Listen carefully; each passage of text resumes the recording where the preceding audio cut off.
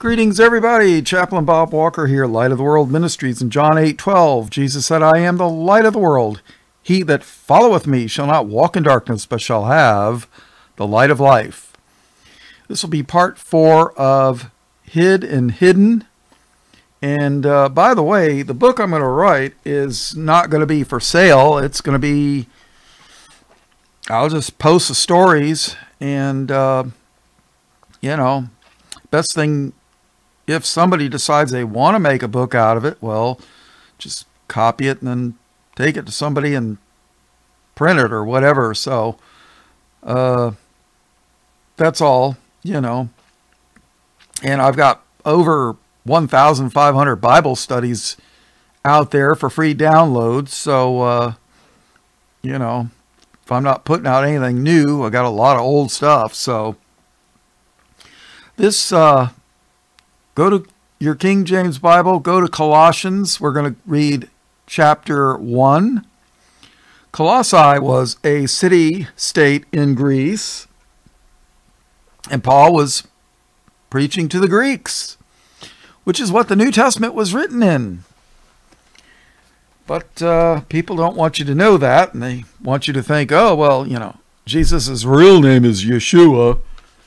Uh, I don't think so. I don't think so at all.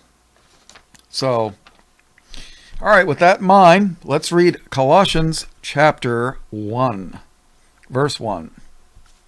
Paul, an apostle of Jesus Christ, by the will of God, and Timotheus, our brother. And right off the bat, people will say, oh, Paul is a self proclaimed apostle. Well, you know what?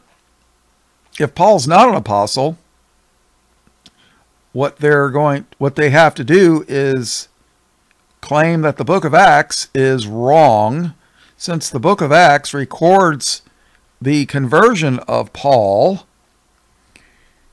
and that the Holy Spirit failed the Holy Spirit failed to warn the 10 apostles that Paul was a wolf in sheep's clothing infiltrating the flock to destroy the church from within but they won't come out and say that because, you know, they, they have to deny the book of Acts. So you're not just deleting Paul's writings when you deny Paul, you're deleting the book of Acts too. And you're charging the Holy Spirit with failure to warn the, the, uh, the other 10 apostles. So, you know, you want to throw away Paul's writings, you got to throw away the book of Acts too. But uh, there's nothing too evil for these people. Nothing. They are absolutely no good in them at all, my opinion. And if you throw away those that Jesus sent, well, eventually you end up throwing away Jesus. Because Paul was sent by Jesus. Verse 2 To the saints and faithful faithful brethren in Christ which are at Colossae. Grace, grace be unto you and peace from God our Father and the Lord Jesus Christ. We give thanks to God and the Father of our Lord Jesus Christ, praying always for you. Since we heard of your faith in Christ Jesus, and of the love which ye have to all the saints for the hope which is laid up for you in heaven, hope laid up for you in heaven, whereof you heard before in the word of the truth of the gospel. Gospel means good news.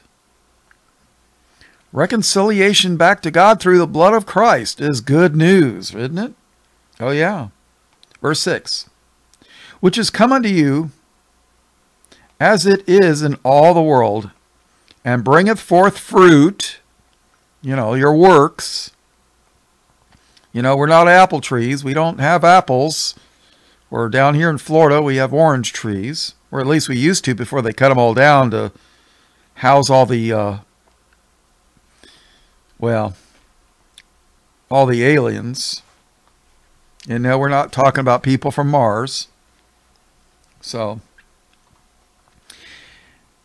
which is coming to you as it is in all the world, and bringeth forth fruit, as it doth also in you, since the day ye heard of it, and knew the grace of God in truth. As ye, ha- uh, as ye also learned of Epaphras, our dear fellow servant, who is for you a faithful minister of Christ, who also declared unto us your love of uh, your love in the Spirit.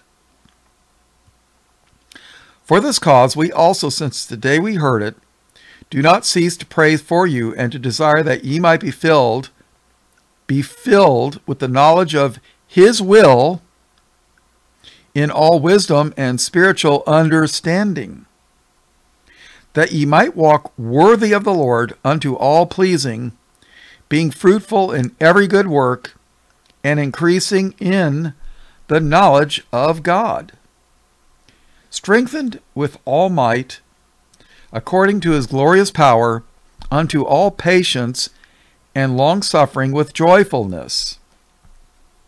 Yeah, this sounds like a real wolf in sheep's clothing. Yeah, doesn't it? Yeah. You know why they they you know, the reason they hate Paul was because Paul gives you a lot of warnings about the um, end time man of sin, the son of perdition. Some people say the Antichrist, others say the beast of Revelation, the dragon, the beast, the false prophet. Yeah, Paul gives you a lot of warnings about the end times. And they don't want you to read Paul's writings, and they want you to think all that happened in 70 AD when Jerusalem was destroyed. And this present wicked world is Christ's kingdom now, reigning and ruling in your heart. Uh, yeah. I don't think so. But that's what they want you to think. So you got to ask yourself did the Antichrist show up in times past or is he for the future? Because if they can convince you he came in the past, and he shows up in the future, and your pastor says, Oh, even Christ has come. Don't worry about it. Worship his image, take his mark, 666. You know, heresies, a pastor that I really, one of the only pastors I respect, always said that heresies have consequences. If somebody can convince you that the Antichrist came in times past, and now we're waiting for Christ to show up. And the Antichrist shows up, and you worship the Antichrist as Christ because somebody convinced you, and you take his mark. Bad news, people. Bad news. You know, that's why they, they always throw out all these flavors of heresies. If they don't get you with one, they'll get you with another. And by no means do I claim to have it all figured out. I don't. There's a lot of things I don't understand. That's why I've never done a commentary on the book of Daniel. It's hard. But one day, uh, the Lord, uh, the angel, one of the angels of the Lord said that the book would be sealed up till the end. When the end happens, we'll find out. One of the minor prophets says that uh, the Lord will pour out his spirit upon all flesh one day. I forget what book that is, but yeah. One day we're going to know. But today ain't that day, at least not for me. So, verse 10 that ye might walk worthy of the Lord unto all pleasing, being fruitful in every good work and increasing in the knowledge of God. And that's what we're trying to do, right? Strengthened with all might, according to his glorious power, unto all patience. Oh, Lord, give me patience and give it to me right now, right? Yeah, that's something that I'm having to work with. Uh, well, work on. Unto all patience and long suffering with joyfulness Long suffering. that means suffering for a long time. And we're supposed to be joyful about it.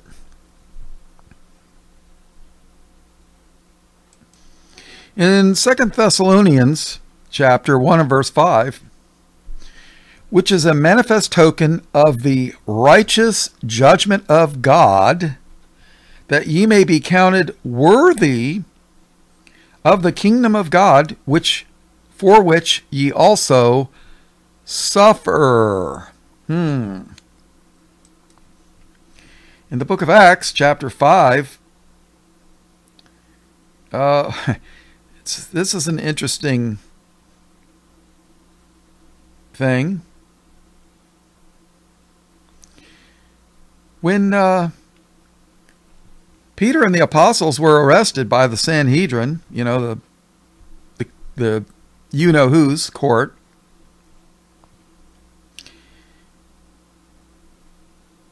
and then they were talking about killing these guys. So let's read Acts chapter 5. Uh, let's see.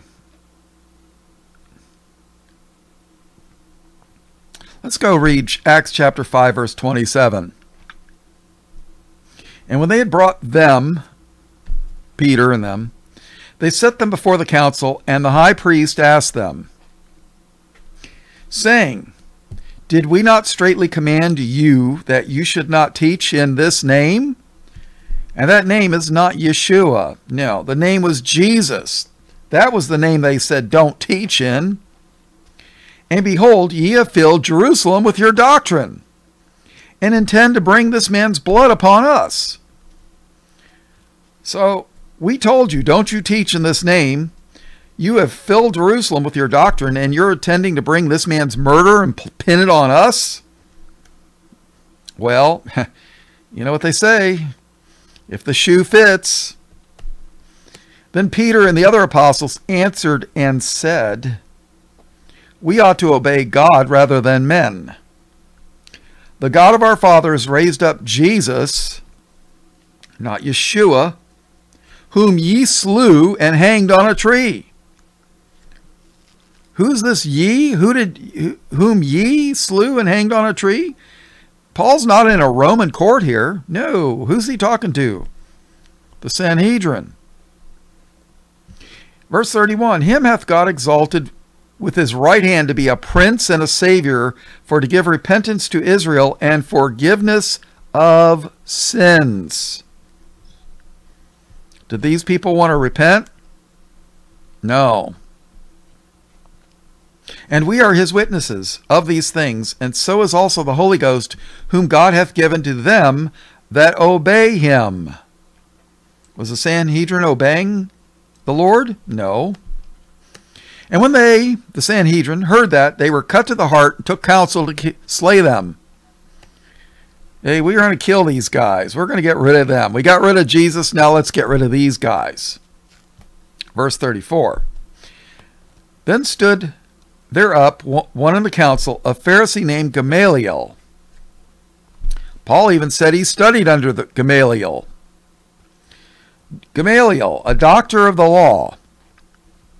I don't know if you know it, but uh, you go to college for four years, you get a bachelor's degree. Go for two more years, you get a master's. Go two more years, you know, eight years total. You get a PhD, a doctorate, a doctor of philosophy. Yeah. This guy was well, he was a doctor of the law. I'll guarantee you he had studied, he knew the Torah, the Bible, in, the Old Testament inside and out. I'll guarantee it. This guy knew his stuff. So, Gamaliel, a doctor of the law, had in reputation among all the people. So, he, this guy had a good reputation and commanded to put the apostles forth a little space. Hey, uh, you guys stand over there in the corner. I'm going to talk to these people privately. And he said unto them, Ye men of Israel, take heed to yourselves. Pay attention. What? Listen to me. Pay attention. Take heed to yourselves what ye intend to do as touching these men. For before these days rose up Theudas, boasting himself to be somebody, to whom a number of men, about four hundred, joined themselves, who was slain, and all as many as obeyed him were scattered and brought to naught. After this man rose up Judas of Galilee in the days of the taxing and drew away much people after him. He also perished, and all, even as many as obeyed him, were dispersed. And now I say unto you, refrain from these men and let them alone. For if this counsel or if this work be of men, it shall come to naught. Yeah, if the apostles' work is of men, it's going to come to nothing. Verse 39 But, but, you know, goats love to butt, right? But if it be of God, ye cannot overthrow it, lest haply ye be found even to fight against God. And to him they agreed, and when they had called the apostles and beaten them, they had called the apostles and beaten them. But but Chaplain Bob, uh, uh, we got the pre-trib rapture. God would never do this to the church. Why, the church is God's bride, and God's not a wife beater. Wow. I guess the book of Acts is wrong, huh? If you listen to the that crowd. But listen to this. And to him, Gamaliel, they agreed, and when they had called the apostles and beaten them, they commanded that they should not speak in the name of Yeshua HaMashiach? No. They commanded that they should not speak in the name of Jesus and let them go. So they beat them, said, "Don't you don't you say that name Jesus. We hate that name." And they let them go. And they, Peter and the apostles, and they departed from the presence of the council, rejoicing. Wait a minute, they just got beaten. Rejoicing that they were counted worthy to suffer shame for his name. And that name is Jesus. You see, these, back in the Old Testament times, they were rejoicing that they had gotten beaten and were counted worthy to suffer shame for his name. And daily in the temple and in every house they ceased not to teach and preach Jesus Christ. They taught Jesus, not Yeshua HaMashiach. And you watch. Yeshua is going to be the Antichrist. You watch. The Bible plainly teaches that the man of sin, the son of perdition, the Antichrist, the beast, comes first before Jesus. But you'd never know that going to a Baptist church for the most part. All right. Uh, let's go back to Colossians chapter 1.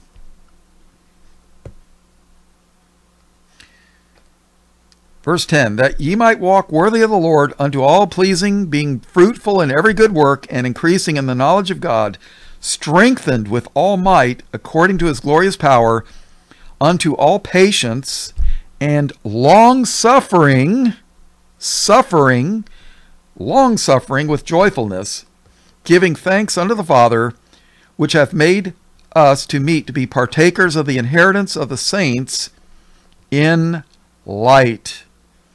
And just remember, Jesus is that light, right? Verse 13 Who hath delivered us from the power of darkness, spiritual darkness, and hath translated us into the kingdom of his dear Son. You know, Paul was on his way to Damascus in the daytime, and a bright light struck him. Yeah, he was in daylight, the physical light. But guess what? He was in spiritual darkness until the light of Christ struck him blind. Yeah. But they don't want to believe that stuff, so. Who hath delivered us from the power of darkness and hath translated us into the kingdom of his dear Son, in whom we have redemption through his blood, even the forgiveness of sins. And if you read the book of Exodus, what did they put on the doorpost, the lintel of the house? the blood of the lamb. If you had the blood of the lamb on your lint on the, the doorpost, the lintel of the the doorposts of your house, the angel of death, the death angel, passed over your house. He didn't go into your house. Oh, there's blood there. The book of Leviticus taught the priests to take the blood for the covering of sin. It didn't wash it away, it covered it. You know, it's. But you uh, look at some of the modern Bible versions, boy, they guess blood is one of those words they delete a whole bunch of times. They will delete that word many, many times. And of course, they'll say, well, the King James Bible adds those words. Well, I don't think so. I think they delete it, but they'll, you know, the devil's always doing the opposite. The devil was the original fact checker for face Facebook or fake book. Yeah. You know, in, in the garden, you know, the serpent said, Ye shall not surely die, Eve. If you eat of this fruit, no problem. God's, nah, he's lying. You know, fact checkers have checked this and proven it false. Yeah. In whom we have redemption. What does it mean to redemption? It means to be redeemed. You know, let's say you had something, you were short of money, and you had something of value. Maybe a, a wedding ring or something. And you were like, oh, dude, I need some money bad. So you take it to the pawn shop, and they give you a ticket and some money, and they keep the ring. And if you don't redeem the ring within a certain amount of time and pay the extra money, you know, pay the money they gave you plus extra, uh, you lose the ring. But if you go there and pay what they gave you and the extra money, you can redeem the thing that you pawned.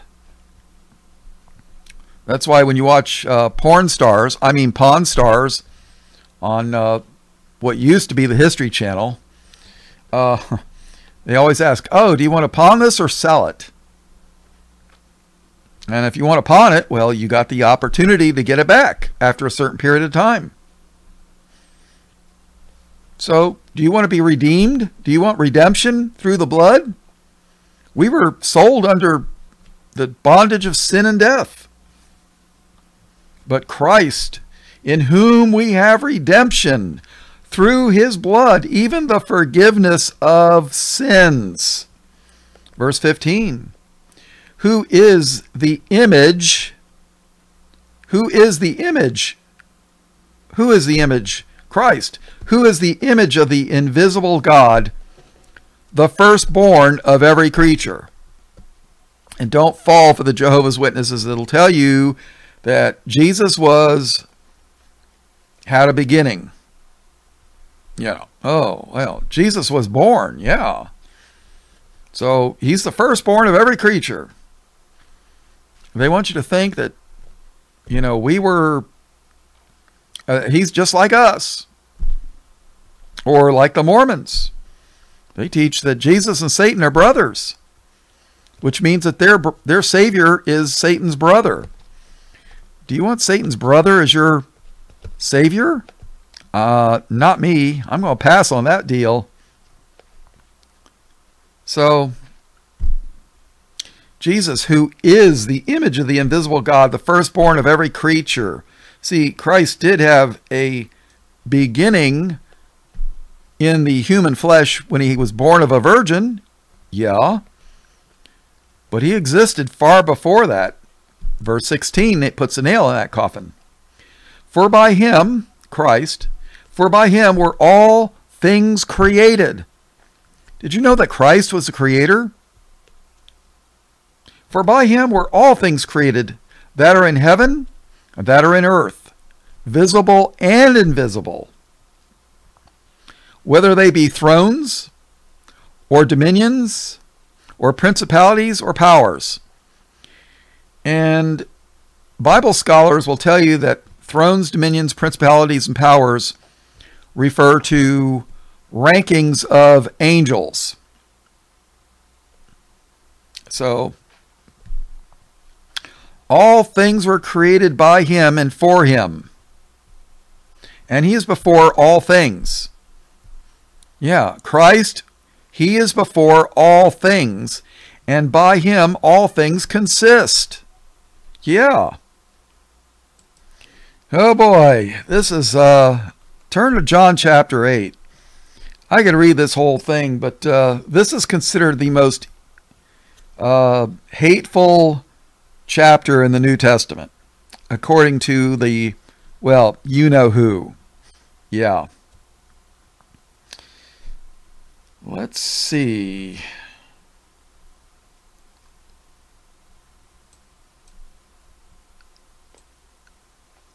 Let's go to verse 51. Verily, verily, I say unto you, if a man keep my sayings, saying, he shall never see death. Now, this is Jesus speaking. Then said the you know who's unto him, Now we know that thou hast a devil. Abraham is dead, and the prophets, and thou sayest, If a man keep my saying, he shall never taste of death. Art thou greater than our father Abraham, which is dead, and the prophets are dead? Whom makest thou thyself? Jesus answered, If I honor myself, my honor is nothing. It is my Father that honoreth me, of whom ye say that he is your God. Yet ye have not known him, but I know him. And if I should say I know him not, I shall be a liar like unto you. But I know him and keep his sayings. Your father Abraham rejoiced to see my day, and he saw it and was glad. Then said the you know who's unto him, Thou art not yet fifty years old, and hast thou seen Abraham? Jesus say, said unto them, Verily, verily, I say unto you, before Abraham was, I am. Now remember, Moses, when Moses was in the desert and the Lord, well, the, the burning bush, and Moses said, Well, hey, uh, hey, Lord, uh, when I go back to Egypt, you know, Israel's going to ask me, uh, well, what's this guy's name? Well, what am I going to tell him? He says, Tell him I am have sent you. He said, I am that I am. Tell him I am hath sent you. So when Jesus said, Verily, verily, I say to you, before Abraham was, I am, Jesus is comparing himself to the burning bush, the Lord speaking out of the burning bush to Moses. Verse 59. Then took they up stones to cast at him, but Jesus hid himself. Jesus hid, hid himself, and went out of the temple, going through the midst of them, and so passed by. Now remember, this Bible study's on hide, hid, hidden, you know. There you go. Jesus hid himself. Hmm, I wonder how he did that. Very interesting. Let's go read Exodus chapter 3. Now, Mos- verse 1 Now Moses kept the flock of Jethro, his father in law, the priest of Midian. And he led the flock to the backside of the desert and came to the mountain of God, even to Horeb. And the angel of the Lord appeared unto him in a flame of fire out of the midst of a bush. And he looked, and behold, the bush burned with fire, and the bush was not consumed. And Moses said, I will now turn aside and see this great sight, why the, bur- the bush is not burnt. Hmm. And when the Lord saw that he turned aside to see, God called unto him out of the midst of the bush and said, Moses, Moses. And he said, Here am I. And he said, Draw not nigh thither, put off thy shoes from off thy feet, for the place whereon thou standest is holy ground. Moreover, he said, I am, I am the God of thy father, the God of Abraham, the God of Isaac, and the God of Jacob. And if you're ever wondering what name to use,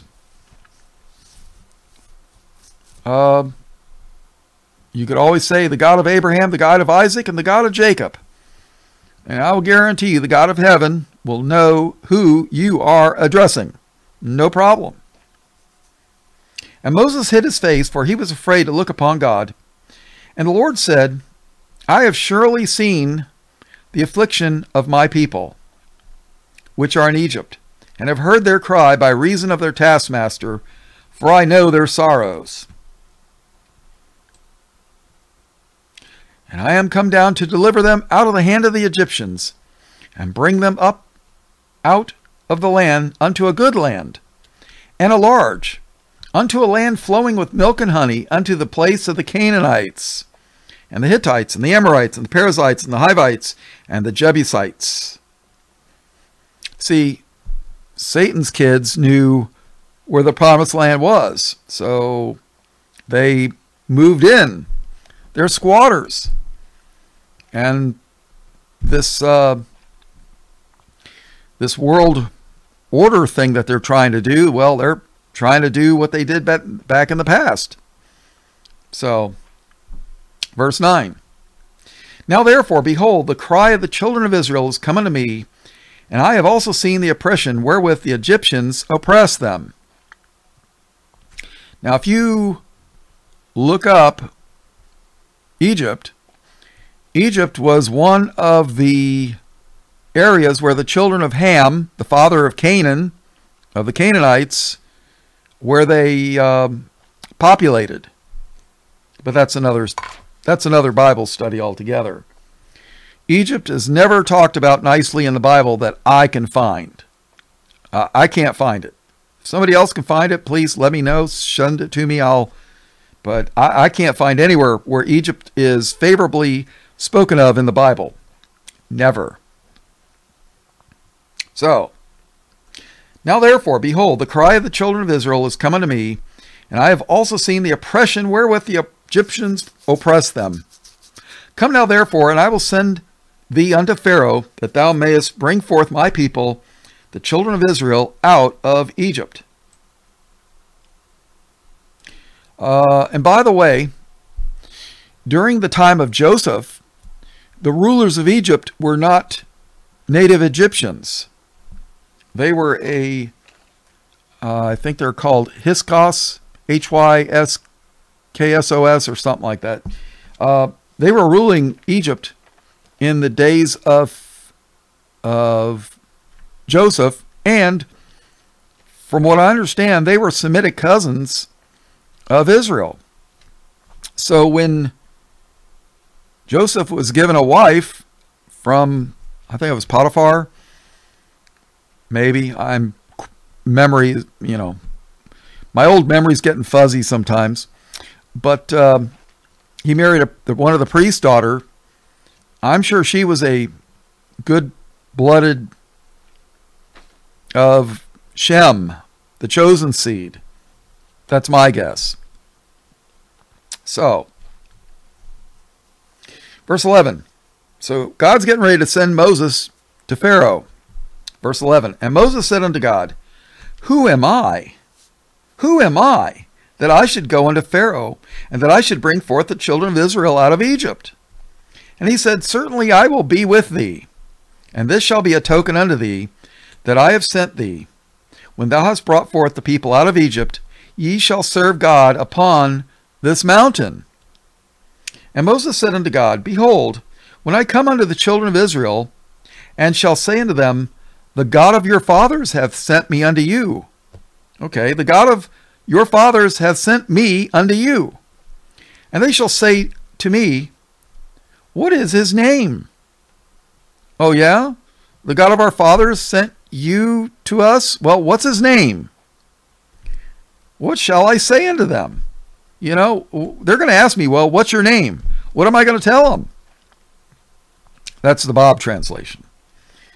And God said unto Moses, I am that I am.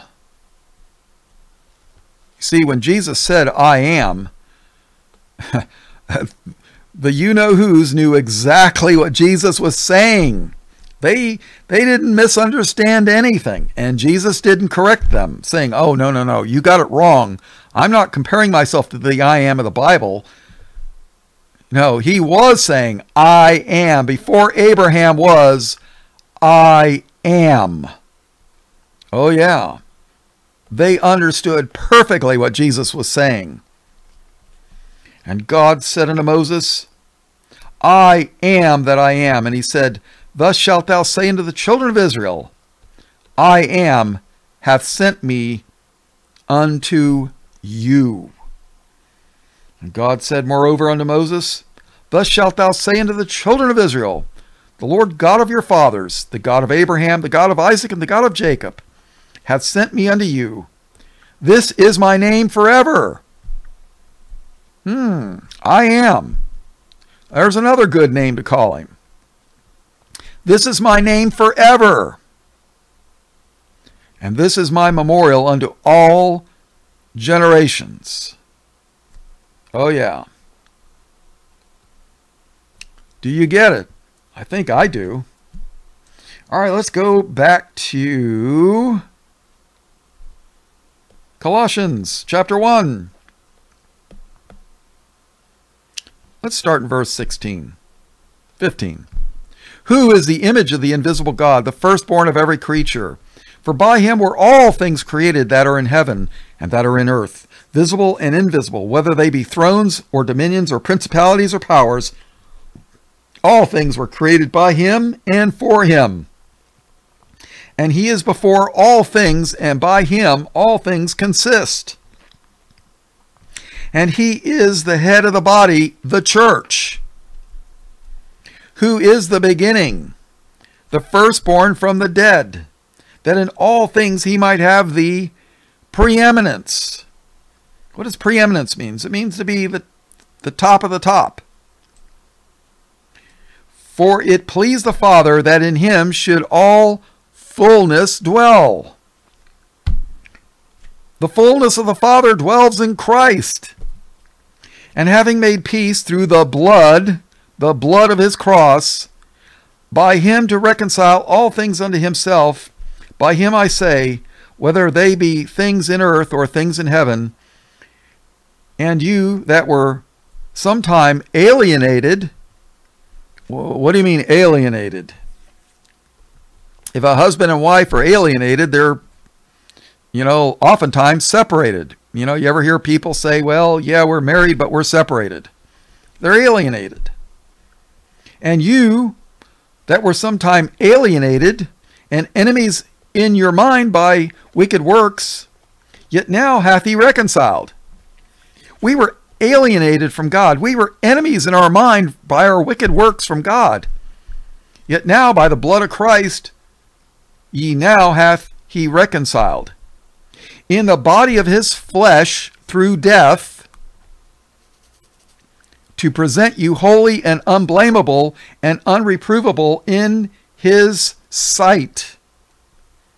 If, well, there's that if, if ye continue in the faith, grounded and settled, and be not moved away from the hope of the gospel, which ye have heard, and which was preached to every creature which is under heaven, whereof I, Paul, am made a minister. Who who now rejoice in my sufferings for you. What do you mean suffering, Chaplain Bob? God God God loves his bride. He's not a wife beater. God would never let us suffer and get beaten and you know, God God's not a wife beater. No, God's not, but the devil is.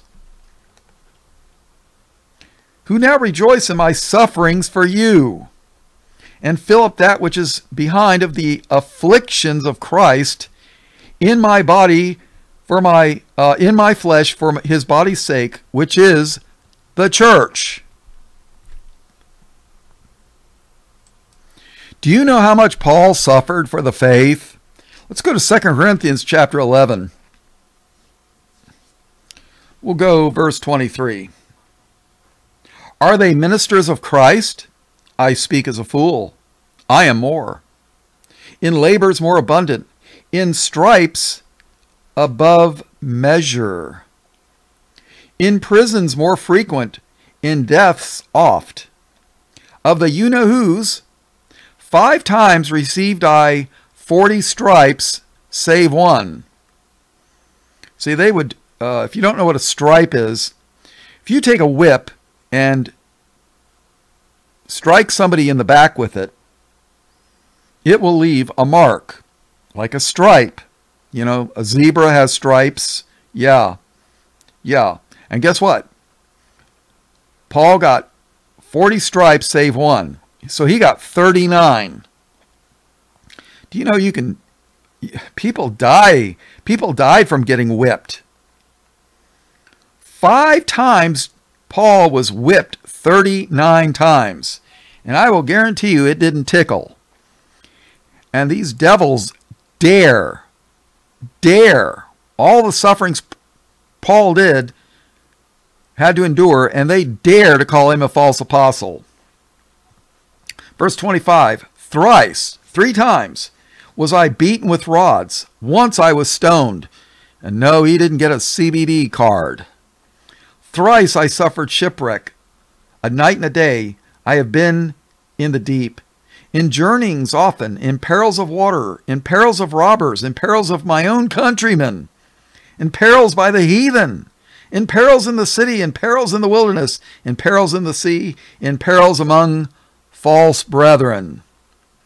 Yeah, I know about false brethren. Yeah. Paul suffered for the faith greatly. The Yeshua crowd never suffers nothing.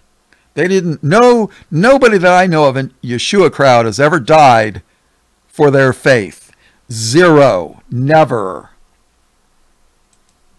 So, Colossians 1:24 Who now rejoice in my sufferings for you and fill up that which is behind of the afflictions of Christ in my flesh for his body's sake, which is the church, whereof I am made a minister, according to the dispensation of God, which is given to me for you to fulfill the word of God. Even the mystery, the mystery, which hath been hid. Now, that's what this Bible study is all about. The hidden, the hidden mystery, right? Even the mystery which hath been hid from ages and from generations, but now is made manifest to his saints, to whom God would make known that is the riches of the glory of this mystery among the Gentiles, which is Christ in you, the hope of glory. See, if if Satan had known that kill, crucifying Christ was going to redeem mankind, Israel, his people, God's people, God's people, his people, not the devil's people. I mean, if they would have known that, they never would have killed Christ. Never. Wouldn't have done it. But when they crucified Christ, a Roman soldier took a spear under his ribs and poked him, put a hole in him side, and what came out? Water and blood. Water and blood. Oh, yeah. We're redeemed by his blood. I think I did a whole study on just blood, if anybody's interested. But if you go to the NIV, the not inspired version, uh, the word blood is missing a lot of times. So to whom God would make known what is the riches of the glory of this mystery among the Gentiles, which is Christ in you, the hope of glory, whom we preach, warning every man and teaching every man in all wisdom, that we may present every man perfect in Christ Jesus. Whereunto I also labor, striving according to his working, which worketh in me mightily. All right, let's go to Colossians chapter 3. Just turn a page or two, right? Verse 1 If ye then be risen with Christ, seek those things which are above, where Christ sitteth on the right hand of God. Set your affection on things above, not on things on the earth. For ye are dead, for ye are dead, and your life is hid with Christ in God. Yeah, we should be you, we should die in the flesh and be alive in the spirit. Verse 4 When Christ, who is our life, shall appear. Oh, wait a minute. When Christ, who is our life, shall appear? Well, if you listen to people that say everything happened in the past, Christ already appeared. But I don't think so. When Christ, who is our life, shall appear, then shall ye also appear with him in glory. Did we appear in Christ in glory? No, I don't think so. Verse 5 Mortify.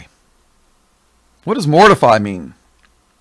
You ever heard of a mortician? A mortician, you know, a funeral home guy. You know, deals with dead bodies, right? It has reference to death.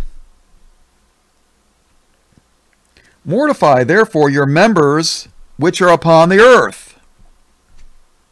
You know, the, the fleshly desires we should kill, they should die.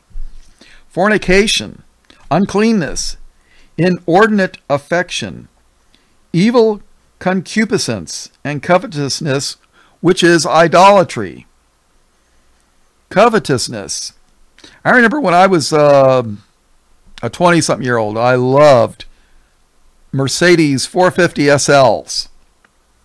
A, uh, especially uh, the, uh, the, uh, what do you, convertible, rag tops we call them. Yeah.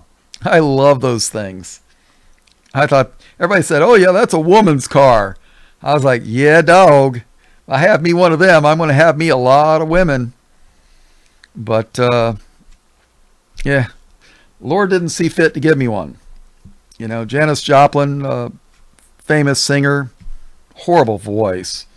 She said, Lord, won't you buy me a Mercedes Benz? She must have been talking about Satan because, uh, yeah, uh, never mind. Janis Joplin, Lord, won't you buy me a Mercedes Benz?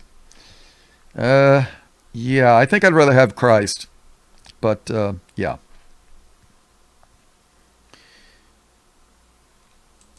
And for those of you that don't know it, the Webster's 1828 dictionary uh, website is back up. Concupiscence, noun, Latin, to covet or lust after, to desire.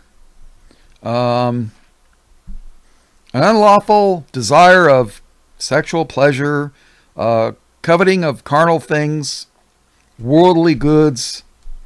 Um, there you go. Yeah. Uh, let's see. He even quotes Romans 7 8. Sin, taking occasion by the commandment, wrought in me all manner of concupiscence. Romans 7 8. You know, Ro- Noah Webster, what a guy, man. This, this guy knew like over 20 languages fluently. I mean, this guy, he knew biblical Hebrew, he knew biblical Greek, the New Testament. Uh, he standardized the spelling of English, at least in the United States. And he spent years putting together the um, dictionary, years of his life. And you know, he, he died pretty much poor, poor because of all the labor he did. Tesla did the same thing. Uh, Nikolai Tesla wanted to give everybody free things and, and gifts to free, you know, electric and everything else. And every penny he made, he devoted into it. Matter of fact, Tesla wouldn't even get married. He says, well, you know, if I get married, I won't have time to work on my science projects. I mean, you know, if it had been up to Tesla, we would have had free electricity. You wouldn't have a, a, a an electric bill every month, but uh, the powers that be wouldn't allow that. So Yeah. All right, let's go back to Colossians chapter 3, verse 5. Mortify therefore your members which are upon the earth fornication, uncleanness, inordinate affection, evil concupiscence, and covetousness, which is idolatry. Yep, if you want the things of this world more than you want the Lord, um, it's idolatry in a way. For which things sake the wrath of God cometh on the children of disobedience. And that was me in high school.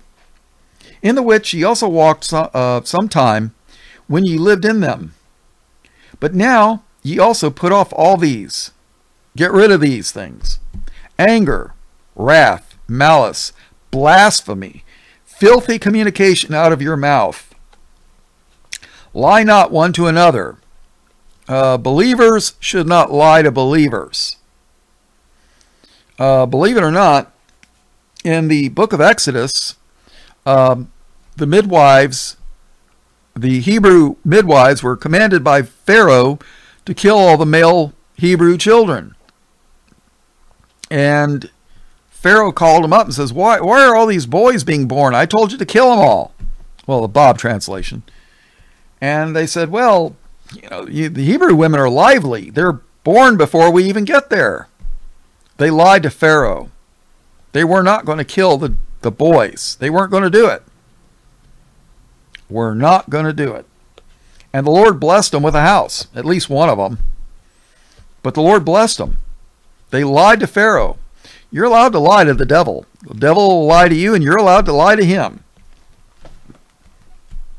So, verse 9 Lie not one to another, seeing that ye have put off the old man with his deeds, and have put on the new man, you know, your new man in Christ, which is renewed in knowledge after the image of him that created him where there is neither Greek nor Jew, circumcision nor uncircumcision. Hebrew roots people say, oh, well, we got to be circumcised. That's another reason why they don't like Paul. They want to bring you into the bondage of the law. The law never saved anybody. I mean, the law would show you were obedient, but it, the law didn't save you. There's neither Greek nor Jew, circumcision nor uncircumcision, barbarian, Scythian, bond nor free, but Christ is all and in all. Put on therefore as the elect of God. Who are the elect of God? Christians. Christians are the elect of God, not the antichrists over in the Middle East that reject Jesus. Unless you go to a demon nominational 501c3 business claiming with the name church in it, that's no more a church than Federal Express is part of the federal government. It's just a name. And one day they'll get theirs. Put on, therefore, as the elect of God, holy and beloved, bowels of mercies, kindness, humbleness of mind, meekness, long suffering, forbearing one another, and forgiving one another. If any man have a quarrel against any, even as Christ forgave you, so also do ye. Boy, that's a hard one. And even Jesus told us to forgive. Boy, that's not an easy thing to do, is it? Nope. And above all these things, put on charity. Uh, that word charity is um, sometimes translated as love. Because if you've got love for your fellow man and you see them in need, you know, it's cold outside and they don't have a coat I mean, wouldn't you grab a coat that you, you know, you got a coat you haven't used in five years? Wouldn't you grab it out of your closet and give it to them? That's love. Or you see somebody hasn't eaten in three weeks. Wouldn't you give them a plate of food? I mean, that's love. That's charity. Charity is love, and love is charity. And above all these things, put on charity, which is the bond of perfectness or perfectness and let the peace of God rule in your hearts, to the which also you're called in one body, and be thankful. That's there's only one body. But if you listen to the so-called churches, they'll say, well, you know, there's a Jewish body and then there's the Christian body. Uh, no, there's only one. One Lord, one faith, one baptism. That's it. Verse 16 Let the word of Christ dwell in you richly in all wisdom, teaching and admonishing one another in psalms and hymns and spiritual songs, singing with grace in your hearts to the Lord. Well, if I was singing, it might be grace, but uh, it'd be more like a joyful noise. But yeah. And whatsoever ye do in word or deed, do all in the name of the Lord Jesus, giving thanks to God and the Father by him. Oh boy, when I used to do weddings, this verse 18 would, a, a bride would never ask me to read this. Never. Well, I can't say that. There was actually one or two out of the hundreds of weddings that I performed. But uh, listen to this. Wives, submit yourselves unto your own husbands as it is fit in the Lord. But verse 19, they wanted me to read. Husbands, love your wives and be not bitter against them. And I always told them, well, 18 and 19 are a package set. I can't break it up, you know. Verse 20 Children, obey your parents in all things, for this is well pleasing unto the Lord. And think about it. Who gave children unto the parents? The Lord. So he wanted us to be obedient children. Just like when we grow up, he wants us to be obedient children to him. Fathers, provoke not your children to anger, lest they be discouraged. Servants, obey in all things your masters according to the flesh, not with eye service, as men pleasers, but in singleness of heart, fearing fearing God. See, if you're a servant to somebody, God allowed it. Or yeah, so we should to honor the Lord, we should honor our masters. And whatsoever ye do, do it heartily as to the Lord, and not unto men, knowing that the Lord, that of the Lord ye shall receive the reward of your inheritance, for ye serve for ye serve the Lord Christ. But he that doeth wrong shall receive for the wrong which he hath done, and there is no respect of persons. Let's read Revelation chapter 6, and we'll close this out. Verse 1 And I saw when the Lamb opened one of the seals, and I heard, as it were, the noise of thunder, one of the four beasts saying, Come and see. And I saw, and behold, a white horse, and he that sat on him had a bow, and a crown was given unto him, and he went forth conquering and to conquer. And we covered this a little bit in the last previous study on this series. And when he had opened the second seal, I heard the second beast say, Come and see. And there went out another horse that was red, and power was given to him that sat thereon to take peace from the earth, and that they should kill one another.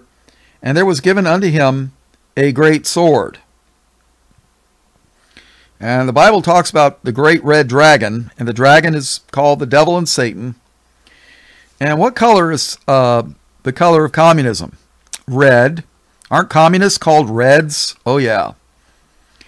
Uh, communism took peace from the earth. They communism's murdered millions, all untold multiplied millions. And there was given unto him a great sword. Now, I'm not saying this red horse is communism, but, you know, possibly is. I'm not saying it's not either. And when he had opened the third seal, I heard the third beast say, Come and see. And I beheld, and lo, a black horse. And he that sat on him had a pair of balances in his hand. And I heard a voice in the midst of the four beasts say, A measure of wheat for a penny, and three measures of barley for a penny, and see thou hurt not the oil and the wine. A measure is like a loaf of bread. And what is a penny? A penny was a um, day's wage back then for an unskilled laborer. You know, when I was a kid, you could get three Tootsie Rolls for a penny. Yeah, seriously, three of them. That's what we always did. We went to the 7 Eleven and got candy, candy bars for a nickel. Well, not Mounds and Almond Joy. They were actually seven cents. And then if you had three pennies, well, it's not enough to buy a candy bar, but hey, I can get some Tootsie Rolls. So I remember this stuff. You know, somebody give me a dollar. I was like, wow, that's 20 candy bars. Or you could go to the the uh, cinema, the theater, and watch stupid Hollywood garbage. So, a loaf of bread for a day's wage. Think about that, people. Think about that. That's coming. That's coming. This whole thing in Ukraine is just a diversion.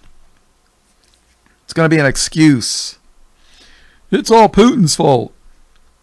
Or it's all Biden's fault. Or it's, yeah, whatever. Verse 7.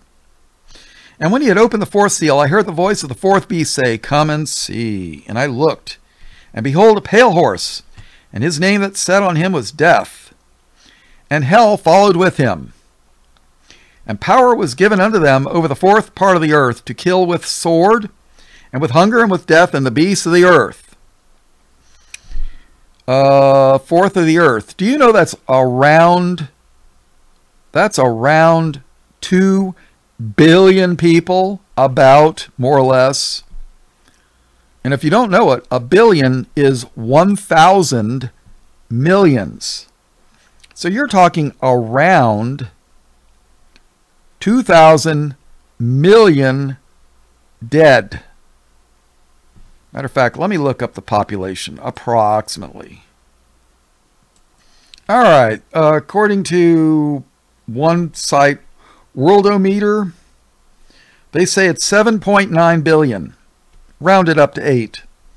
7.9 to 8, yeah. Uh, China alone is one and a half billion. India has 1.4 billion. Wow. Yeah, think about that. Hmm. That's a lot of dead people. So, to kill with war, hunger, starvation, famine, and death, probably disease, and with beasts of the earth. Yeah, I wonder if they're two legged beasts.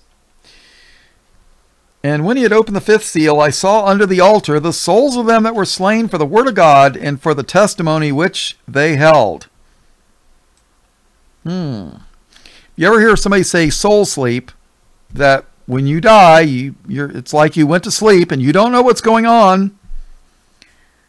But the Bible says that he, they saw the under the altar the souls of them that were slain for the word of God and for the testimony which they held, and they cried, who? The, the dead souls of them that were slain. And they cried with a loud voice, saying, How long, O Lord, holy and true, dost thou not judge and avenge our blood on them that dwell on the earth? See, these are the souls of the people that were died for the faith. They don't have their resurrected bodies yet. That doesn't happen until Christ returns. At the last trump, at the end of the tribulation. There is no pre trib rapture. It doesn't happen.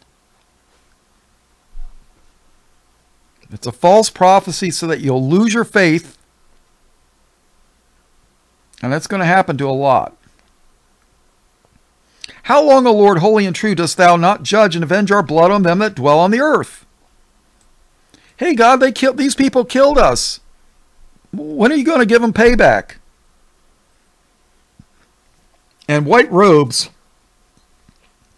were given unto every one of them, and it was said unto them that they should rest yet for a little season, until their fellow servants also and their brethren that should be killed as they were should be fulfilled. You know, until the last person in the tribulation who dies for Christ happens, there's not going to be the resurrection. And people say, Chaplain Bob, I'm confused. Where's the rapture and the resurrection? Well, you were confused before you talked to me. I'm just pointing it out to you.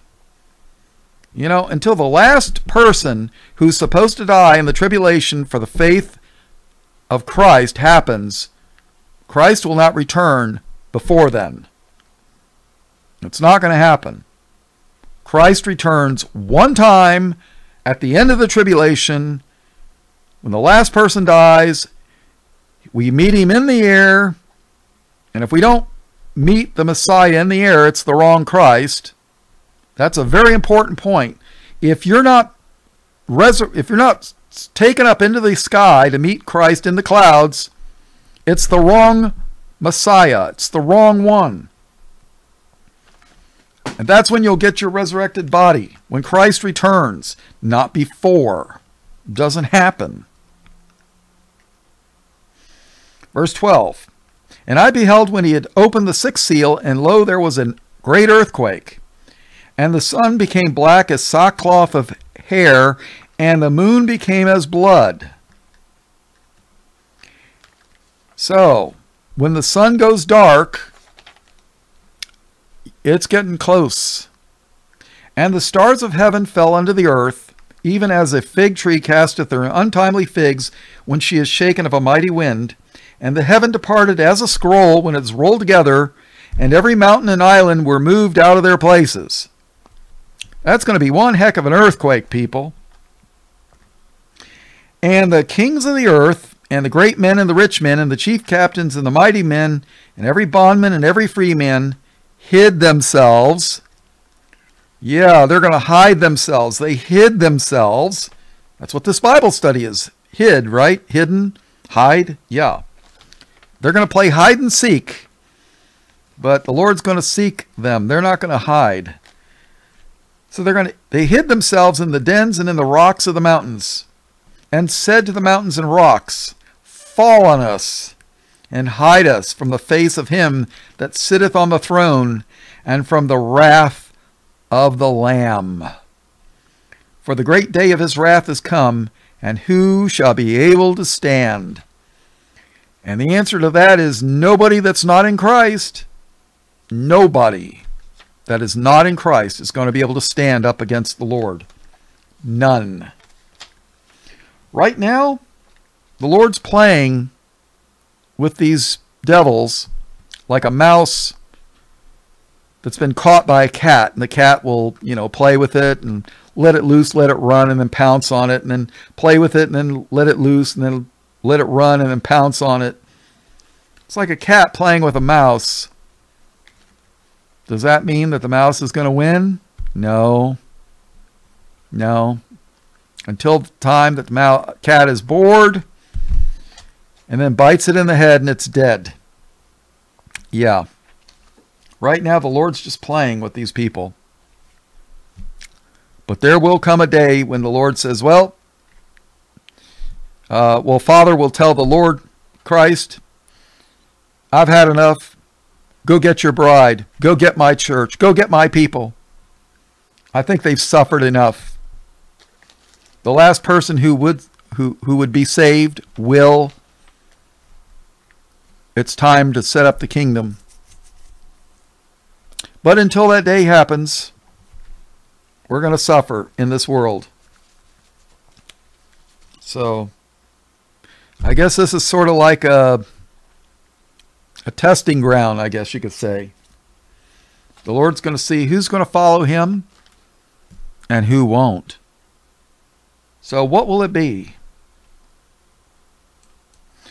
Let's take a look at Joshua chapter 24. And this will be the end, I think. Verse 1 And Joshua gathered all the tribes of Israel to Shechem, and called for the elders of Israel, and for their heads, and for their judges, and for their officers, and they presented themselves before God. And Joshua, and oh, by the way, this is how you pronounce what they say, claim is Yeshua. It's Joshua. And they'll say, well, there's no J in the Hebrew. It can't be Joshua.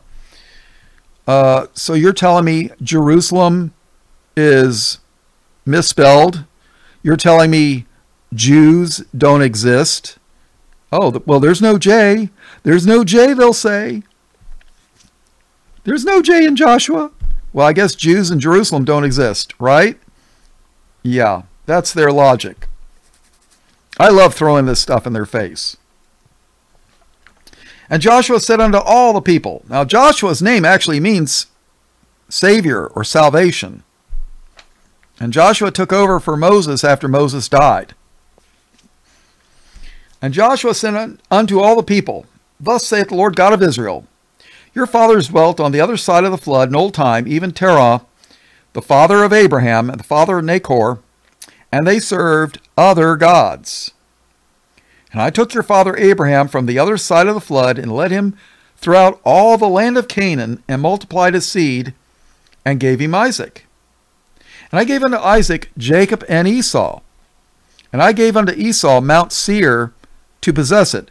But Jacob and his children went down into Egypt. I sent Moses also and Aaron, and I plagued Egypt, according to that which I did among them. And afterward I brought you out.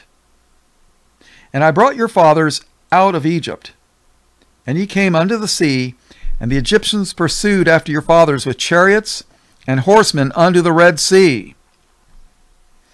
And there's actually people that'll tell you, oh, the Bible's mistranslated. It wasn't the Red Sea. Uh, Israel crossed the Sea of Reeds, which is like ankle deep. And saying, well, that was the miracle. You know, they, they crossed the Sea of Reeds and they just walked across, and it was like dry land. But the real miracle is how did uh, Pharaoh and his army drown you know, the Sea of Reeds that was only ankle deep. Figure that one out. See, these people, they lie, but they can't think through their lies, you know. No, they went through the Red Sea and God parted it, just like the Bible says. Verse 7 And when they cried unto the Lord, he put darkness between you and the Egyptians, and brought the sea upon them and covered them. And your eyes have seen what I have done in Egypt and ye dwelt in the wilderness a long season. And I brought you into the land of the Amorites, which dwelt on the other side Jordan, and they fought with you, and I gave them into your hand, that ye might possess their land, and I destroyed them from before you. See, there's people who tell you that the uh, Canaanites were not the children of the fallen angels of Genesis chapter 6. You know, they, they want you to believe that uh, believing men marry unbelieving women and have giants with six fingers and six toes, and then God says, go kill them all. No. If these people were redeemable, God would have said, Preach to them and tell them my ways. Tell them to keep my commandments and how the love of Jesus. But no, God said to destroy them. Then Balak, the son of Zippor, king of Moab, arose and warred against Israel, and sent and called Balaam, the son of Beor, to curse you. But I would not hearken unto Balaam. Therefore he blessed you still, so I delivered you out of his hand. And ye went over Jordan, and came into Jericho. And the men of Jericho fought against you, the Amorites, and the Perizzites, and the Canaanites, and the Hittites, and the Girgashites, the Hivites, and the Jebusites, and I delivered them into your hand. All the Canaanites, I deliver them into your hand. I gave them to you. And I sent the hornet before you, which drave them out from before you, even the two kings of the Amorites, but not with thy sword nor with thy bow. Yep, I, the Lord, did this. Not your sword, not your bow and arrow. I did. 13. And I have given you a land for which ye did not labor, and cities which ye built not. They built the cities, not you, and I gave them to you. And ye dwelt in them. Of the vineyards and olive yards which ye planted, which ye planted not, do ye eat. See, they planted the garden, and you're eating the fruit of it. Now therefore fear the Lord and serve him in sincerity and in truth, and put away the gods which your fathers served on the other side of the flood and in Egypt, and serve ye the Lord. And if it seem evil unto you to serve the Lord, choose you this day whom ye will serve. Whether the gods which your fathers served that were on the other side of the flood, or the gods of the Amorites in whose land ye dwell. But as for me and my house, we will serve the Lord. Now, this is Joshua speaking. And the people answered and said, God forbid that we should forsake the Lord to serve other gods. For the Lord our God, He it is that brought us up and our fathers out of the land of Egypt from the house of bondage, and which did those great things in our sight, and preserved us in all the way wherein we went, and among all the people through whom we passed. And the Lord drave out from before us all the people, even the Amorites which dwell in the land. Therefore will we also serve the Lord, for he is our God. And Joshua said unto the people, Ye cannot serve the Lord, for he is an holy God. He is a jealous God. He will not forgive your transgressions nor your sins. If if ye forsake the Lord and serve strange gods. See, the Lord's a jealous, a holy and jealous God. You want to serve the devil, he's not going to, well, he's not going to, there's going to come a time he won't put up with it. If ye forsake the Lord and serve strange gods, then he will turn and do you hurt. Oh, yeah, he's going to hurt you and consume you and after that he hath done after that he, had, he hath done you good. See, he's doing you good, but if you want to turn away from him, he's going to hurt you. And the people said unto Joshua, Nay, but we will serve the Lord. And Joshua said unto the people, Ye are witnesses against yourselves that ye have chosen you the Lord to serve him. And they said, We are witnesses. Now therefore put away, said he, the strange gods which are among you, and incline your heart unto the Lord God of Israel. And the people said unto Joshua, The Lord our God will we serve, and his voice will we obey. Liar, liar, pants on fire. So Joshua made a covenant with the people that day, and set them a statute and an ordinance in Shechem, well, maybe the, some of these people probably served the Lord, but their descendants sure didn't do it. Our people. So Joshua made a covenant with the people that day and set them a statute and an ordinance in Shechem. And Joshua wrote these words in the book of the law of God and took a great stone and set it up there under an oak, which is by the sanctuary of the Lord. And Joshua said unto all the people, Behold, this stone shall be a witness unto us, for it hath heard all the words of the Lord which he spake unto us. It shall be therefore a witness unto you, lest ye deny your God. So Joshua let the people depart, every man unto his inheritance. And it came to pass after these things that Joshua the son of Nun, the servant of the Lord, died, being an hundred and ten years old. And they buried him in the border of his inheritance in Timnath Serah, which is in Mount Ephraim, on the north side of the hill of Gash. Gash. And Israel served the Lord all the days of Joshua, and all the days of the elders that out, out overlived Joshua, and which had known all the works of the Lord which he had done for Israel. And the bones of Joseph, which the children of Israel brought up out of Egypt, buried they in Shechem, in a parcel of ground, in a parcel of ground, which Jacob bought of the sons of Hamor, the father of Shechem, for a hundred pieces of silver, and it became the inheritance of the children of Joseph. And Eleazar, the son of Aaron, died, and they buried him in a hill that pertaineth to Phinehas his son, which was given him in Mount Ephraim. You know, people, I think that basically says it all. And it's a test. Who are we going to serve? Are we going to serve the beast, the Antichrist, the man of sin, the son of perdition? Or are we going to serve Christ? The man of sin comes first. Remember that. And if we're not caught up in the clouds to meet the Lord in the air, it's the wrong Messiah.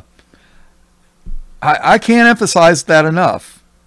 I cannot emphasize that enough. That, you know how many, they don't teach this in churches. They don't. They just don't teach that. So, what can I tell you? All blessings, praise, glory, and honor to God the Father and his only begotten Son, Jesus, who is the Christ, the Lamb slain from the foundation of the world. All blessings, praise, glory, and honor. In Jesus' precious name, amen.